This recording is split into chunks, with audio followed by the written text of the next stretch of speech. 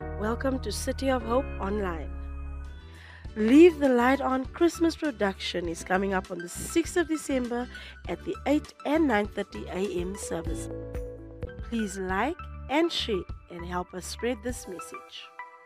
Thank you for remaining faithful with your financial contributions. May this message fill your heart with hope.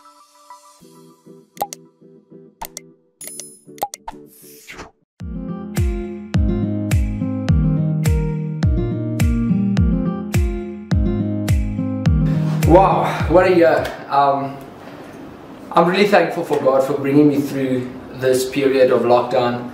Um, last year I've experienced hectic burnout and, and I just was just in a very bad space emotionally. And with this a series that Pastor Jan um, have shared with us at church about relentless love and the embrace of the Father, I realized that the lockdown helped me to really process what was going on in my heart because I was so in a routine and so in this older brother mentality thing that I was so busy the whole time that I that I haven't realized really that that that is what's going on within.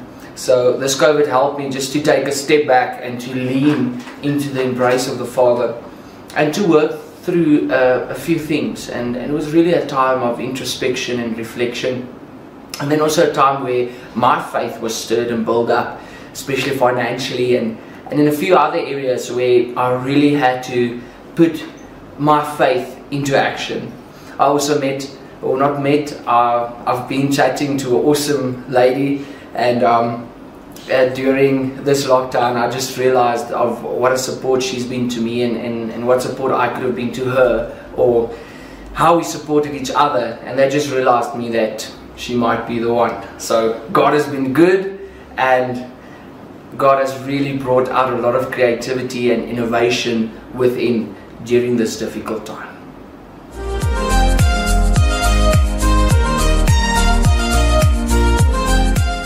Well, I want to greet each and every one of you this morning, especially of those of you who are coming online and you may be sitting in your lounges on this Sunday morning and uh, celebrating with us the very fact that Jesus Christ is alive, He's risen, and He's among us. Isn't that beautiful? And for those of you in this house this morning, well, I want to encourage you to really be expectant of what God wants to do in your life. Come on, who's expectant this morning? Now, I'm not saying that way, all right? Because some of you would have to look like Sarah's, yeah? But I, am saying be expectant of the things that God has in store for you. I think we sometimes miss out on the giftings that God has for us, the blessings that God has for us, because we don't come with expectation. So kom ons wees verwagtend vanoggend hè. And let's say God, I know you got something specially in store for me. Uh, who's enjoyed lockdown by the way? I, I, you know what? I, I must be honest, I haven't enjoyed lockdown. But what I have really taken out of it, I've tried to take the good out of lockdown. And, uh, you know, I've, I've recognized my relationship with God has grown so much closer and stronger. And my faith has gone to another level. And for that, I'm truly grateful. And I've realized that the enemy, what the enemy has uh, designed for the church's destruction, I can see the church with committed people rising up and saying, listen, now is the time to show our faith. Now is the time to show the world that we're the light and the salt of this earth. Do you hear an amen to that? So you see, with lockdown, no matter how much we can say, well, it hasn't been pleasant and I wish it was over, and I, and I really do, I pray that it would come to a point where it's over. Um, but I think that's still going to be a good few weeks, a good few months before we can actually look back and say it's now something of the past. But you know what was amazing is that over the last few days, our staff did a exercise with Pastor Young, and they were asked to list all the victorious things and all the good things that have happened during this period of almost nine months lockdown. And they came up with 85, now listen to this 85 points which pointed to the vic- victories that we've had in this church. And we see things like a borehole. You know, somebody donated money for a borehole. So we've almost been able to come off the grid when it comes to water for the church. We've seen things like the church, this very church that you belong to, coming online. On Sundays, people can watch our services. Uh, we see our children's church coming online. We see even our empowerment center where the word school is offered and where the counseling school is offered. Even there, Pastor Stephen has been able to take a Bible school and put it online. And we've got students that are registering with us right now. Isn't that ama- amazing? Those are just some of the points of the 85 victories that we were able to record in a time of lockdown. But what was most amazing and very encouraging is that our online services grew from like 500 to 1,000, from 1,000 to 2,000, from 2,000 to 3,000. And do you know what? We broke the record a week ago, and our viewing was more than 4,000 people. Now, that's 4,000 views. If you took on average two people to a home, just two, let's be conservative, that gives us 8,000 people who were in church even though they were not present here with you. They were with us, 8,000 people that we would never have reached if it wasn't for being online. Now, I, I found it very encouraging because one of the congregation members came to, to us, or not one of the congregation, one of the staff members came to me and said, Wow, Pastor, you guys have really done well with this viewingship. And uh, thanks to Pastor Young and uh, for, for making this possible. Because without him and myself and really pushing this, we wouldn't have become, as this person put it, that influential. Now, I, I thought about that word, influential. Was I really, or was Pastor Young really influential, be it on Facebook or YouTube? Or is this maybe a word that has been taken out of context and been used in, in the wrong way? Because you see, celebrities today are what we call influential. Am I right? If I had to say to you right now, how many of you are influential? How many will you, of you will raise your hands? You see, you're all hesitant. Why? Because we have this idea that the word influence belongs to celebrities. And you know, that's not so because we have defined influence incorrectly then. Because influence really is about my uh, encouragement or my influence of maybe over one or two people where I've seen their life change. And uh, you see, celebrities are looking for the numbers. They're looking to influence people to follow them, good or bad. And our job, because Jesus says to you and to me, He says, we are actually the real influencers. We are the salt of the earth. Come on, Matthew chapter 5. And we are the light of the world. I love that because that type of that type of influence is really what I want to seek out. I want to be an influential person when I know I'm making a difference, be it in Pastorina's life or Valmay's life or um, Sunshine's life sitting up front here. But it's important that I know that I'm making a difference. Come on, just turn to somebody and say to that person this morning, You're kind of salty. Know, you see, because that's been influential. You, you become kind of salty. I, I, I forgot about this yesterday. I was going to send my wife down to the local butcher uh, who's in our congregation, Alwyn, and I was going to say to him, Have you got any biltong that doesn't have any salt in it? And then the, the, the answer sort of came from somewhere. You can't have biltong if it doesn't have salt on it. Am I right? Because the salt is what preserves the meat. Otherwise, I would be buying and I love the South African term, and I need to use it even if you're watching online. That raak vrot. Okay, it becomes rotten. Okay, and this is so important. You see, we as a church and as people of God, we need to be salty. We need to preserve the values of the kingdom of God. We need to be influencing people in a godly way, offering them hope. Come on. And you know what? This series has been Hearts After God. And I really believe that if we're going to be people, men and women after God, we need to be able to say to people, come on, you know, you're influential, you're making a difference. When last did somebody say to you, you're making a difference? Come on, a good difference in life. And that's what I believe God wants to hear from your life and from my life is that we have influenced people. Now, put the definition of influence on the screen, and maybe they can just show that to you this morning. Then I want you to have a look at how the Collins dictionary defines influence. Very interesting because it really speaks about influencing people's hearts. it's about influencing them for the good. So this is not just a, cele- a celebrity thing, it's something that's important for your, for your life and for my life. I often go back to the early beginning of my Christian walk, and I think there was a, a man by the name of Reverend Dennis Florence. He was a pastor up in Zanin, and I was in business in Zanin, and it was because of Dennis's influence over my life that I came to know Jesus. Because of one man's influence over my value system, over my belief system, he, he, he influenced me to such an extent that it wasn't just me leaving the business world, but it was becoming a pastor today where one man's influence now is over many others. Think about that. You may be leading one person to Jesus, but that one person may eventually be leading hundreds and thousands of people to Jesus. Come on, one man's influence over my life.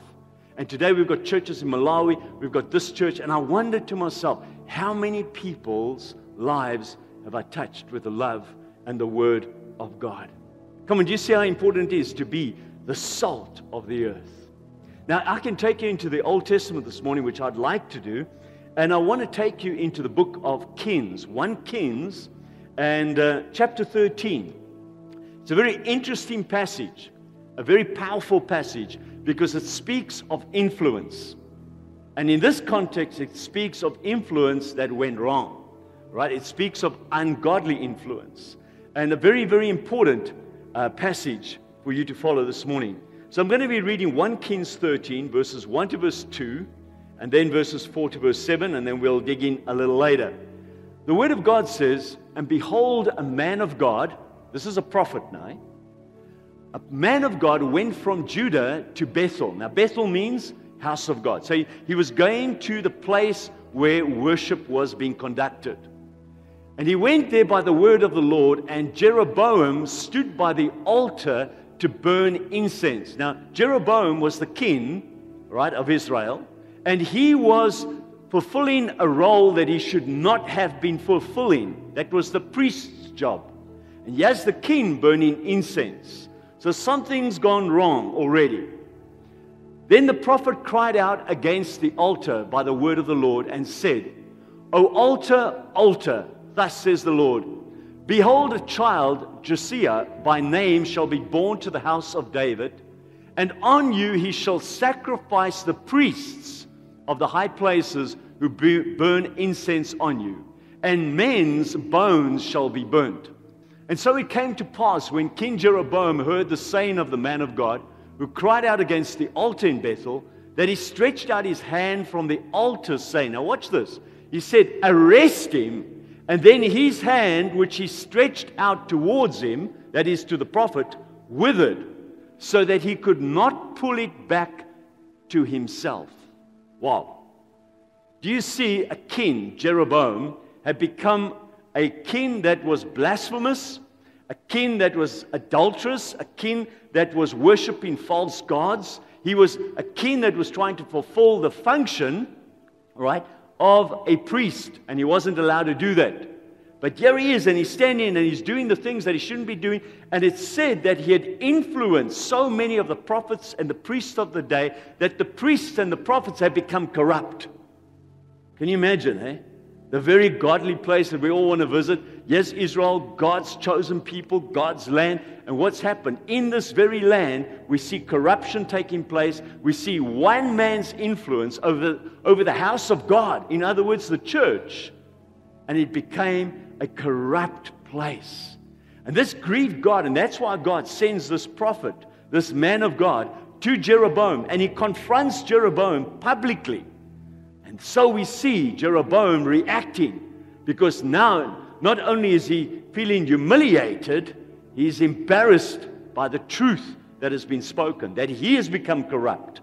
And so the word continues and it says, The altar also was split apart, and the ashes poured out from the altar, according to the sign which the man of God had given by the word of the Lord. Then the king answered and said to the man of God, Please entreat the favor of the Lord your God and pray for me that my hand may be restored to me. Can you imagine, eh? Everybody's watching this. His hand had withered up. right?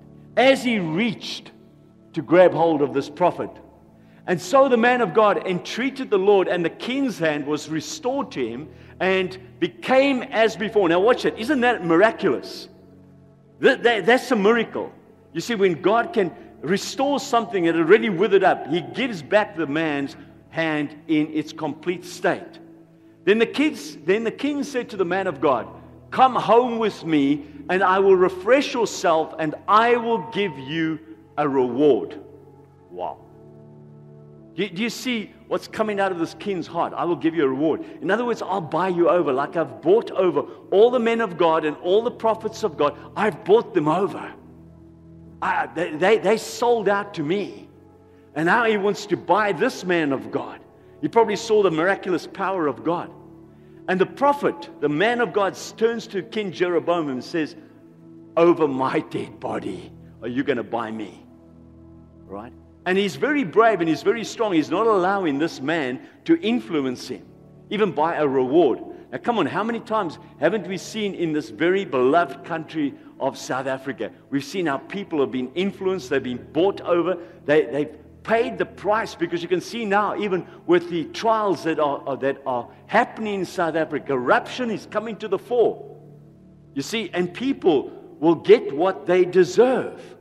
Here, this king has the audacity not even to call upon his gods and say, Listen, you sought him out. He, as he calls and says to the gods, Arrest him, he grabs for this prophet, this priest. And of course, he suffers the consequences because he's touching not only God's anointed, but God's representation in that very moment. It's scary to see what can actually happen when you backslide in your faith. Okay? Eh? Jeroboam, Jeroboam has backslidden. And he has no respect even for the house of God anymore. That's sad. Eh? Can you imagine coming to the house of God and yeah, we sacrificing things to other gods instead of the true God? And so we continue reading. And as you read this passage, I'm just going to highlight the next few passages. But what's so important is that this young man, this prophet of God, he goes on his way because God had given him a command. And God's command was, I want you, after you've spoken to the king, you're to leave that territory and go back another way. I don't even want you to go back the same way. Now, the Word of God teaches in this passage that a prophet that had been bought over, an old man already, his sons, most probably also prophets by name only, they were attending this spiritual gathering, right? And they saw what had happened and of course, they come home and they tell their dad, one of these corrupt prophets, listen, do you know what happened today in the house of God, in, in the place called Bethel? And his dad have said, well, what happened? And so they begin to tell him how this prophet admonishes the king, corrects the king, rebukes the king. The king's hand withers up. Then God restores his hand. So, and all of a sudden, I'm sure this old man, this old prophet that had become so corrupt, must have thought to himself, Oh, how I long for those days when I used to walk in the ways of God. And so he says to his sons, I want this man to come to my house. The Bible says, I'm going to read it to you in a moment. He saddles up his horse and he goes out to meet this young prophet who's now heading back to where he'd come from. And he says to this young man, he lies because he knows this is the only way he's going to get this young man to his house. He says, An angel of the Lord visited me and told me about you and told you, told me that you need to come to my house. And this young man is deceived. He's influenced now by a corrupt prophet. Listen to this. He said to him, I too am a prophet as you are. Now, this is this is this old corrupt prophet speaking to the young man. And an angel spoke to me by the word of the Lord, saying, Bring him back with you to your house, that he may eat bread and drink water. He was lying to him. So he went back with him and ate bread in his house and drank water. And he must say, Well, surely that wasn't too bad. It actually was bad because remember in 1 Samuel chapter 15, we read last, last Sunday in church that King Saul too was told by the prophet Samuel obedience is better than sacrifice. And yeah, this, this young boy that had defied this corrupt king, which stood his man, which stood on the word, is now being influenced by this corrupt prophet. You know, God says those of us in leadership will be judged more harshly than anyone else. Come on, you know, often people say, Well, I want to be a pastor, I want to be this, I want to be. Hey, listen, you can by all means be a pastor, but remember, you're going to be judged more severely by God than anyone else. And this old man, he should have realized this. He deceived this young man. The young man goes and he feasts with this corrupt prophet. And then the story is really sad because when he leaves this corrupt prophet's home, a lion attacks him and kills him. Here's the story. Now, when the prophet who had brought him back from the way heard it, he said, It is the man of God who was disobedient to the word of the Lord. Therefore, the Lord has delivered him to the lion which has torn him and killed him according to the word of the Lord which he spoke to him. And he spoke to his son, saying, Saddle the donkey for me. So they saddled it. Then he went and found his corpse thrown on the road, and the donkey and the lion standing by the corpse. The lion had not eaten the corpse, nor torn the donkey. Interesting, eh? You see, let's obey the things of God. Otherwise, worse things come upon us. And the prophet took up the corpse of the man of God, laid it on the donkey, and brought it back. And so the old prophet came to the city to mourn and to bury him. Then he laid the corpse in his own tomb, and they mourned over him, saying, Alas, my brother.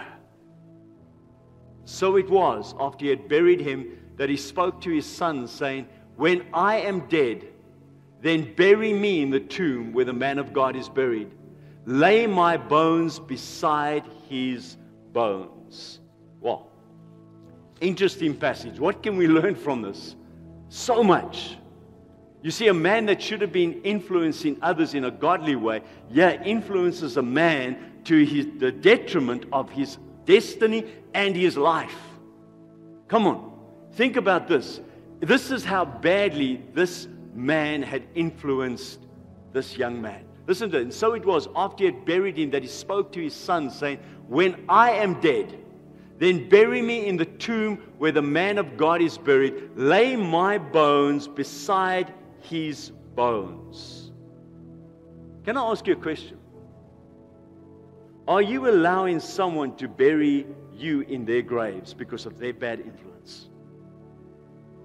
Are you allowing someone to bury you in their graves because of their bad influence that you succumb to? You see, yes, this old prophet, he's saying to his sons, It's my fault. I influenced this young man when he had a word of God to bring restoration to Israel, to bring hope again to Israel. I influenced him in such a way that he lost not only his life, he lost his destiny, he lost his purpose that God had put upon his life. Can you imagine being short lived like that? I'm thinking to God, you know what? I don't want to, I don't want to short live, my, I don't want to short circuit my life. And so I pray, I pray that even as I stand before you, that I say, God, I want to align myself with your word. I want to speak your word. And you see, when you and I leave this place, we should be kind of salty, hey? We should be a kind of light, man. We should be the guys giving hope outside there and influencing society to pick up the values and the norms of, of the kingdom of God. Don't you agree? You see, yeah, we today, you know, as much as that young man was living in lion country, if I can call it that, we living in lion country. Why do I say that? Because 1 Peter chapter 5 speaks of Satan who prowls like a lion, waiting to devour us, waiting to short circuit our life, waiting to take us out. That's Satan's job. And, and that's why I'm saying, even now in South Africa, we're living in lion country where there are so many corrupt officials, there are devious, even pastors. I look at recently what happened with a pastor that fled this country. Corruption, order of the day. And I'm thinking, how many people were influenced under that ministry for a pastor that, that should be looked up to? And I'm thinking, God, help me to be a better pastor because I'm just as human. Isn't that scary? You know, because sometimes we want to judge others, but then we realize, but I'm just as human. And that can happen to me if I don't stay in an alignment with God's word and, and, God, and being led by His Spirit. And that's why it's so important to realize today that even though Satan masquerades as a lion, seeking whom to devour, we will be guided correctly if we follow the word of the Lord.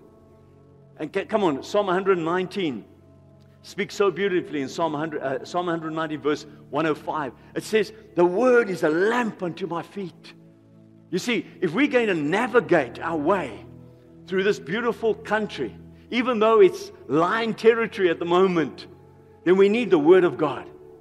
And I love it when in the book of Romans it says, the sons of God and the daughters of God are, are led by the Spirit.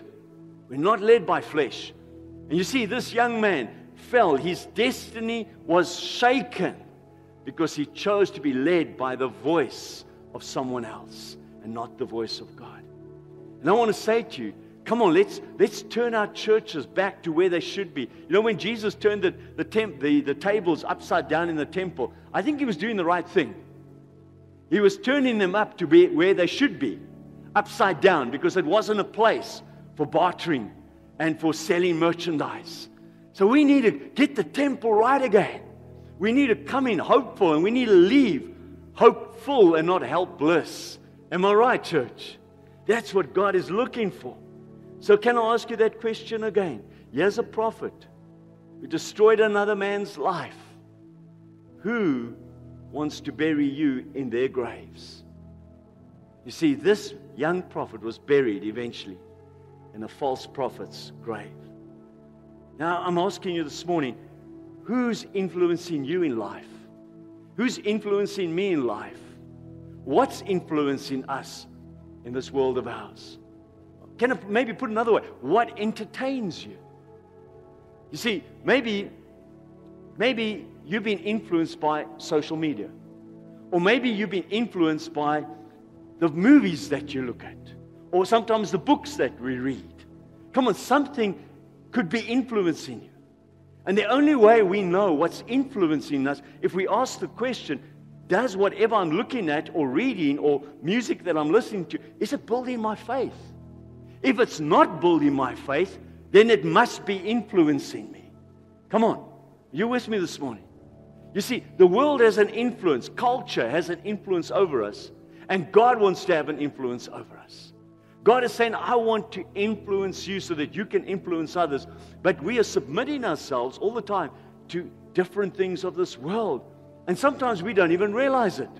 Or, or maybe I can put this question to you What, what do you do with your money. If you got an increase or a bonus, or maybe you got the, the jackpot, the lotto, whatever it may be, what do you do with it?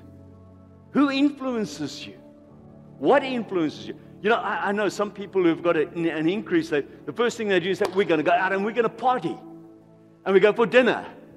And they celebrate. And then I look at my youngest son, and I really want to isolate him in the story here this morning. Because Jared has been so blessed by God. Even during this lockdown, because you know what? When, when Jared gets something, be it whatever money he makes, the first fruits of that will go to God. He won't even take his wife out to celebrate. He'll say to her, Listen, this is our first fruits. I, I want to honor God and what he's done for me. And I love my boy for that. I, I, I say to Desiree often, I say, That's the little bit of salt that we've been able to, to influence him with. That, That's the Word of God, and it's his faith. And the, the next thing, I mean, just recently, he got this huge contract. Yeah, in lockdown. It's, it's unheard of. And the first thing he does, says, How can I, how can I bless, how can I honor my God? And really, you know, I think about that, and I wish, when I was that age, I could have been honoring God like that. And then people look at him and say, You, you are so lucky. No, he's not lucky. He's favored and he's blessed. And he knows what influence he's under. And it's that godly influence that he's under. And that's what encourages me. I say to Desiree, Am I doing enough for God? Where do my priorities lie in life? Maybe, maybe let me give you another question. Have you ever thought about your self worth? You see, if you want to understand who's influencing you, how do you feel about yourself? Do you, would you say this morning that you under the influence of God, or would you say you're under the influence of culture? And when I say oh, are you under the influence of culture, it would mean, well, is it important to you what labels you wear? How you look? Well, that, that could be pretty important, the way you look. But the labels that we wear sometimes give people self worth. You know, if they're not wearing the right shoes, if they're not wearing the right trainers, then they, they've got no self worth. And I say to you this morning if you can get up every day and realize that you are a masterpiece of God's, Ephesians 2, verse 10 says, You are created to be His workmanship, His masterpiece. We shouldn't have a problem with self worth. You see, it depends on what influence we find ourselves under that causes so many people to lose their self worth. And I want you to think about what I'm saying this morning because God is saying, under what influence do you find yourself? Now, have you ever, let me illustrate what influence you've been under because sometimes we don't realize we've been under the influence. How many of you have ever been with a drunk person? Let me, let me okay, you see, I try to word that pretty, pretty gently this morning. How many of you have been around a drunk person? I didn't ask you, how many of you have been drunk? All right. If I had to speak from my BC days, I'd probably be able to give you a good illustration this morning.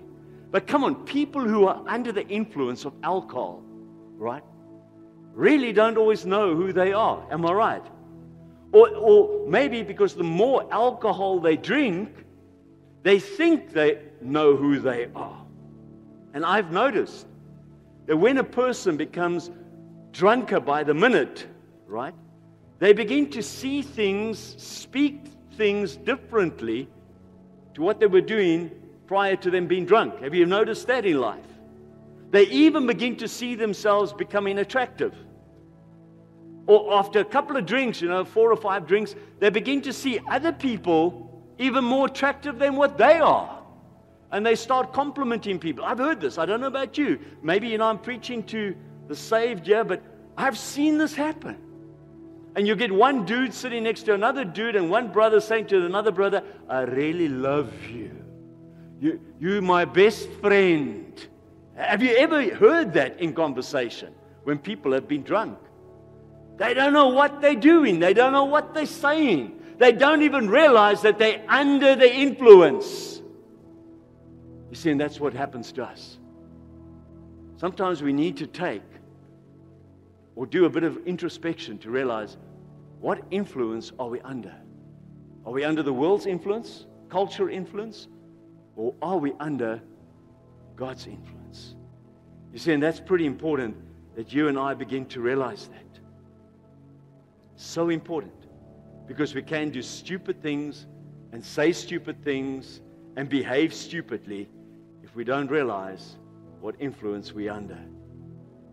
Some of us may realize this morning we've drifted a little from God when we realize that we've been under the influence of culture. You see, 1 Peter chapter 5, verse 6 to verse 8 says the following. Now hear this. We've got it on the screen, it says the following. Therefore, humble yourselves under the mighty hand of God, that he may exalt you in due time, casting all your care upon him, for he cares for you. So you see, watch that word. It says, humble yourselves. In other words, submit unto God's influence. Come under God's influence because He cares for you. Be sober, be vigilant because your adversary, the devil, walks about like a roaring lion seeking whom he may devour.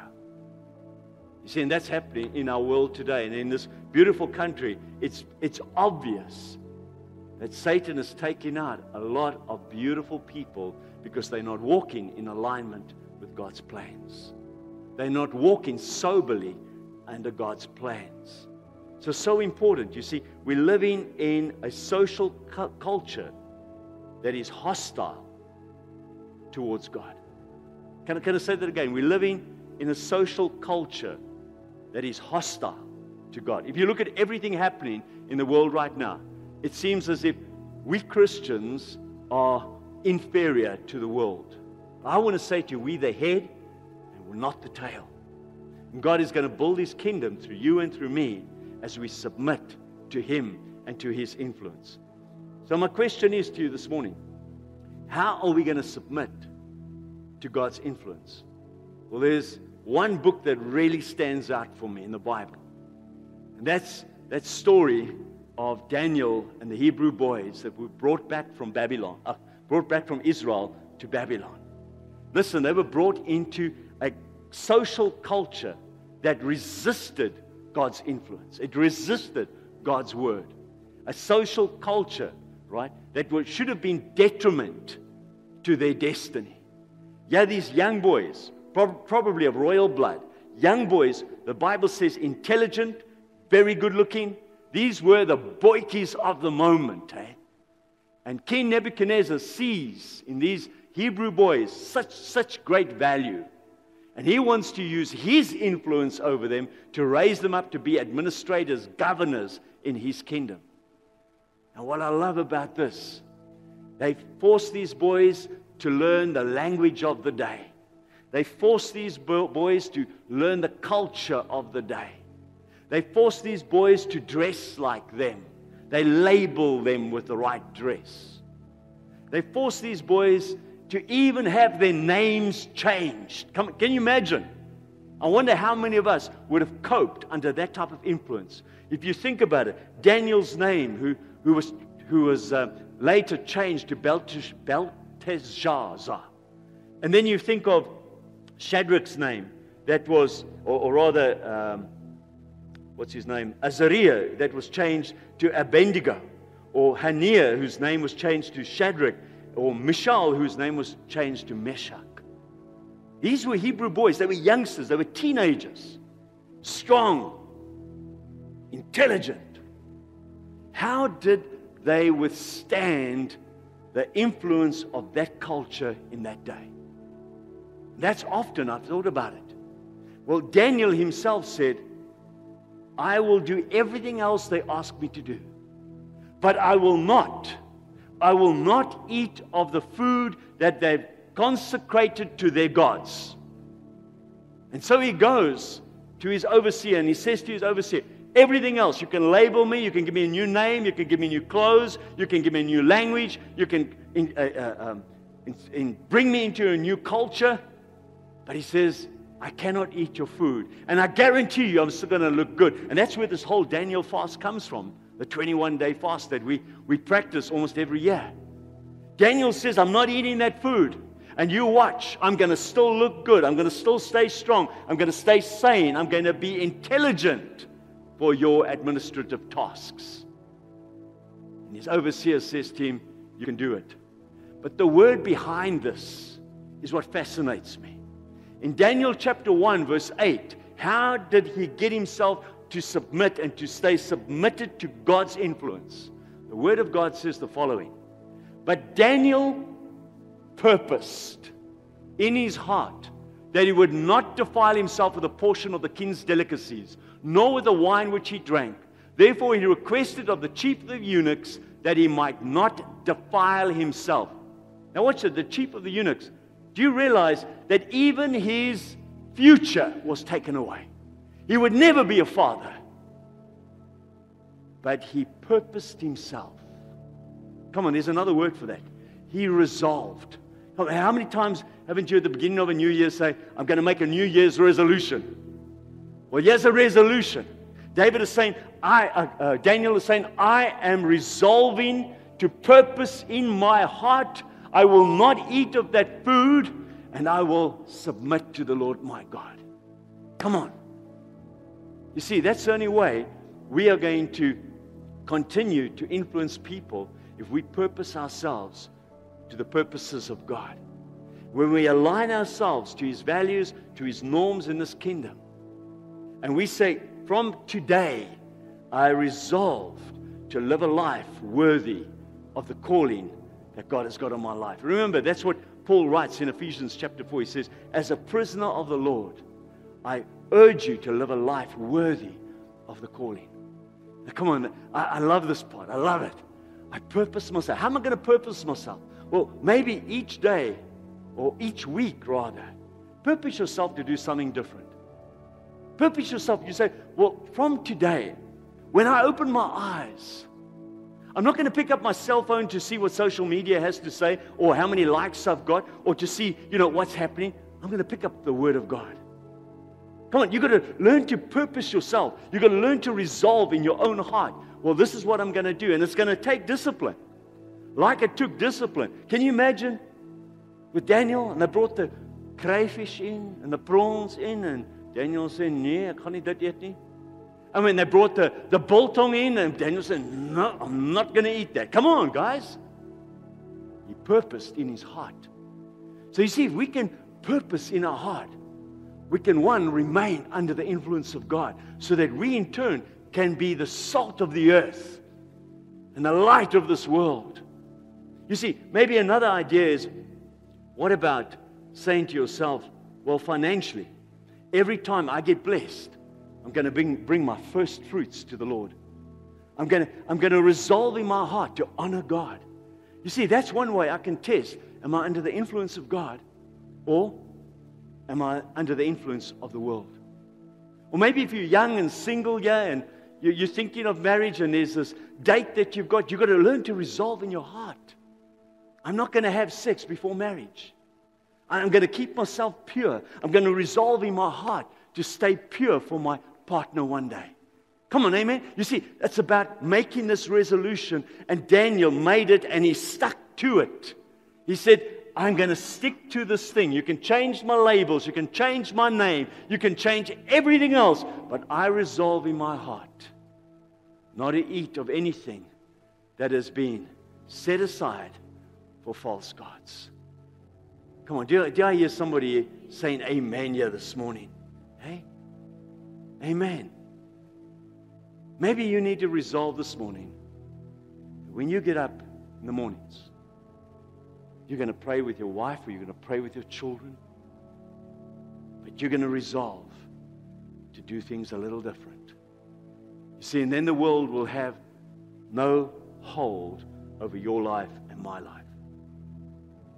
Hear me again. We are living in a society that is hostile to God. It's hostile to God's kingdom. It's hostile to you and to me. Let the Holy Spirit, and this is my prayer, that you allow the Holy Spirit to guide you before someone else influences you in an ungodly and devious way. Let God's Spirit, let His Word be your lamp unto your feet, that no matter what the lion country looks like, you'll walk safely through it. Allow God to impart His word for your destination. So, can you say this with me this morning? I'm going to purpose myself to come under the influence of God. I resolve today that I will live a life as God intended, according to His kingdom values and norms. Now, you know what Joshua said in Joshua 24, verse 15? As for me and my family, we shall serve the Lord. Can we make that the general resolution in this church today? If you're sitting in your home, you're sitting in your lounge this morning, that you would say with us, can you say this with me? It's on the screen. As for me and my family, we shall serve the Lord.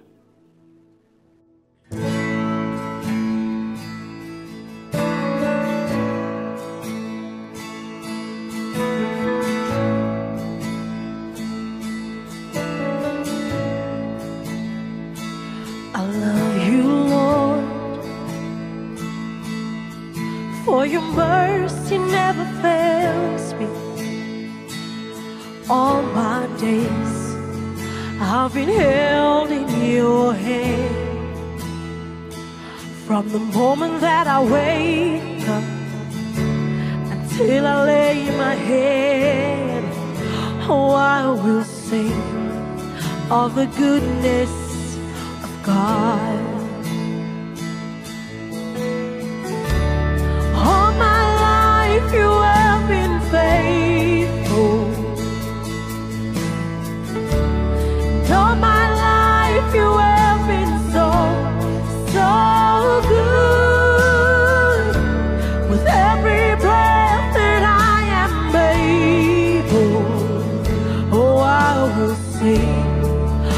The goodness of God. I love your voice. You have led me through the fire in darkest night. You are close like no other. I've known you as a father. I've known you as a friend. And I have lived in the goodness of God. Yeah.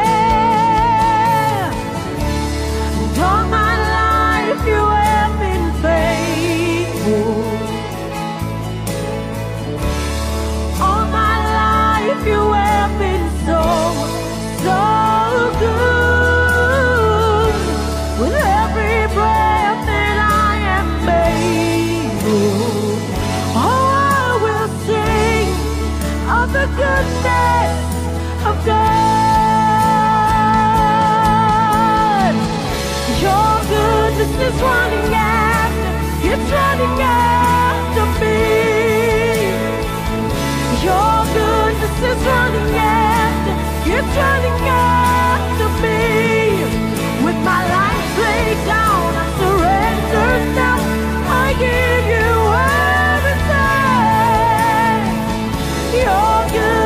running after, it's running after me. Oh, your goodness, your goodness is running after, it's running after me. Oh, your goodness is running after, it's running after me. With my life laid down, I'm surrendered now. I give you everything.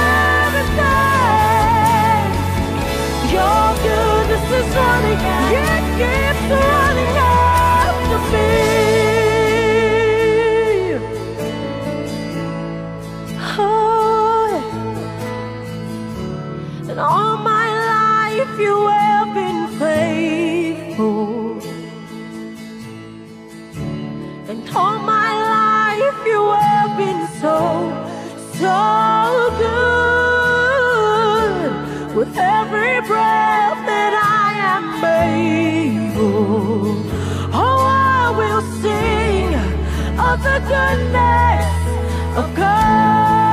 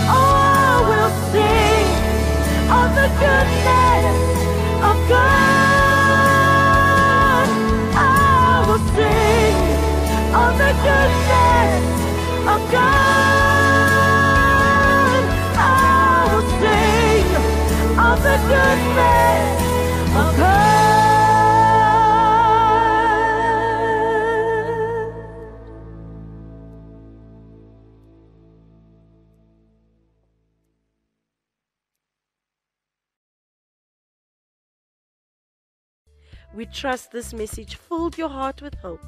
Once again, we appreciate your financial contribution.